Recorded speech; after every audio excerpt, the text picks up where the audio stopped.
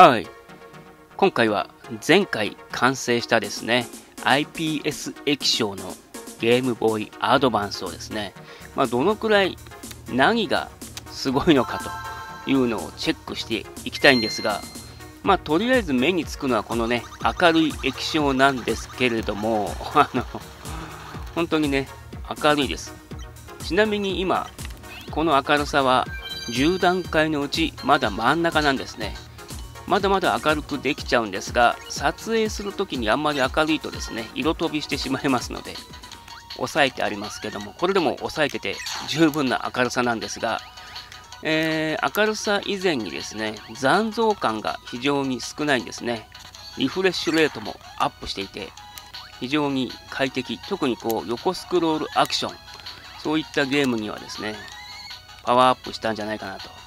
まあ、かつて初代ゲームボーイもですね、残像がめちゃくちゃひどくて、結構ね、よくあれで頑張っていたなと思うぐらいだったんですが、これは本当にもう残像感がありません。まあそういった意味で、一つ iPS 液晶、素晴らしいなといったところなんですが、もう一つはですね、このゲームボーイアドバンスでやるということに意味があったりとかします。例えばゲームボーイアドバンス SP でもですね、あの ISP バージョンありますけども、あちらは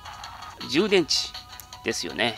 充電池っていずれこう使えなくなっちゃうと、あの代わりが効かなかったりとかします。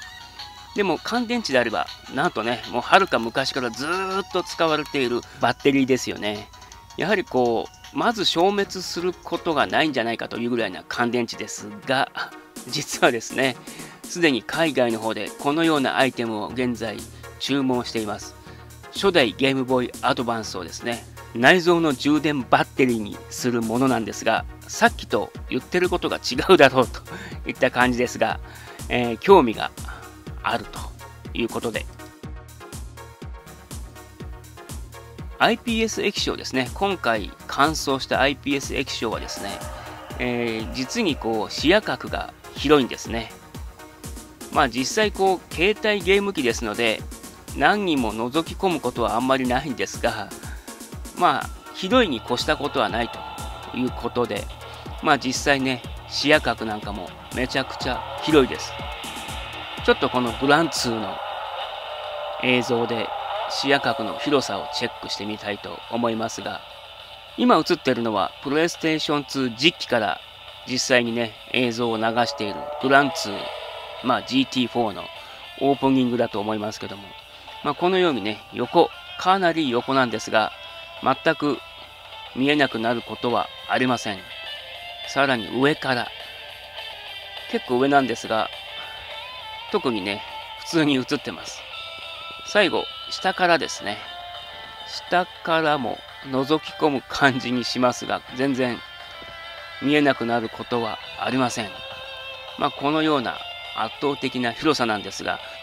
じゃあ DVD プレイヤーでね、DVD のモニターになるのかというとですね、まあ、ゲームボーイアドバンスって3万2000色がですね、同時発色可能だったと思うので、残念ながらフルカラーではないんですよね。映像にですね、グラデーションかなんかが出てきちゃうと、まあなんでしょう、滑らかなグラデーションではなく、まあ階層状になってしまいます。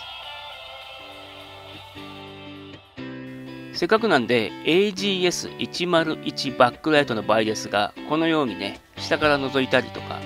上から覗くとですね、ちょっと暗くなったり、色が反転しちゃったりとかありますね。当然横もですね、あの、薄暗くなってしまいます。実は IPS 液晶解像度がアップ。この画像は AGS101 のものですね。こちらが今回の IPS バージョン2です。ちょっと同時に比較するとこんな感じです。つぶつぶ感が全然違いますね。右側が IPS なんですが、実はですね、縦横2倍になっていると思います。一粒一粒というか、あの文字のところで粒のドットの数をですね、数えてみたんですが、おそらく2倍になってるのかなと思います。縦横2倍ですので4倍の解像度と言っていいんでしょうか実は驚いたことにだいぶ前にですね、ゲームボーイカラー、バックライト化しましたけども、こちらも実は結構解像度がアップしていました。まあ実際ゲーム画面とかでアクションゲームなんかはそんなにね、つぶつぶ数えていられませんが、RPG などテキストベースのゲームなんかはですね、あの結構目に優しいんじゃないかなと。まあ俗に言う解像度2倍で同じものを映しています。レティーナディスプレイみたいな感覚になりますね。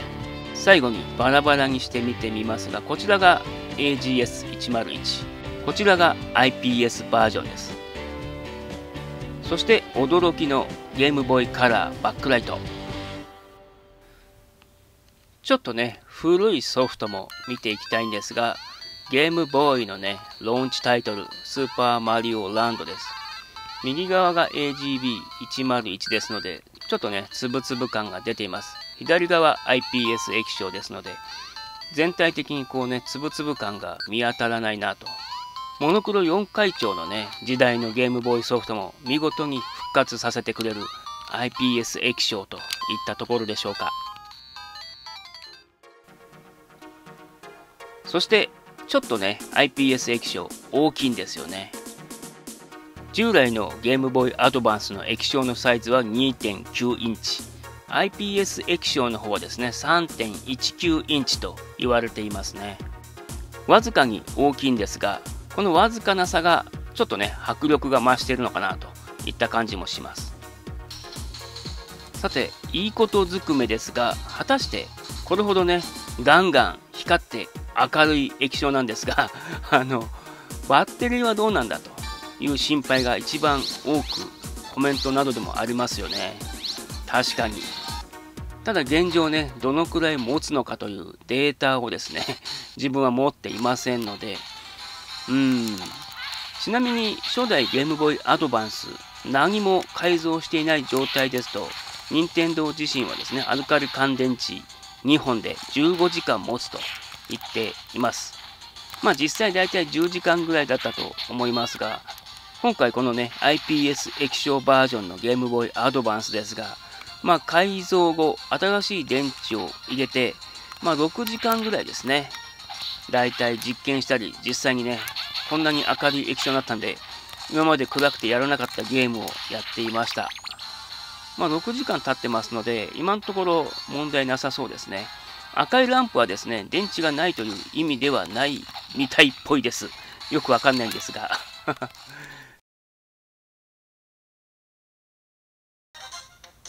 こちらはですね、ゲームボーイアドバンス SP の実はちょっと側は変わってしまっていますが、元はですね、海外版です。海外版のバックライト付き AGS101 ですね。まあ、よくこうゲームボーイアドバンスなどにですね、使っている AGS101 と基本的には同じだとは思うんですが、こちらは任天堂純正です。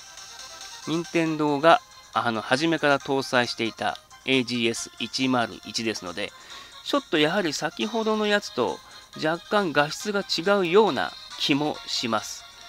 うん、どうなんでしょう。あんまりわかんないんですが、視野角はこちらの AGS101 の方が広く感じますね。次はゲームボーイミクロですね。まあ、ゲームボーイと名の付く最後のハードウェアですけども、まあ、かなりね、この時期、バックライトタイプが任天堂でも増えてきました。ミクロはとにかくね、液晶のサイズが非常に小さいですので、その分同じ解像度でも圧縮されていますので、綺麗に見えちゃいますね。やはりあと明るいですね。まあ、IPS ほどこうきめ細かいわけではなくて、通常のつぶつぶ感はあります。ゲームボーイアドバンス専用ですので、通常のね、モノクロゲームボーイとかは映すことができませんが、まあ割り切りの必要なハードウェアだと思います。まあミクロはですね、いろいろ言われますが、小さいことが正義というハードで、簡単にこうワイシャツのポケットなんかにもスッと入ってしまう。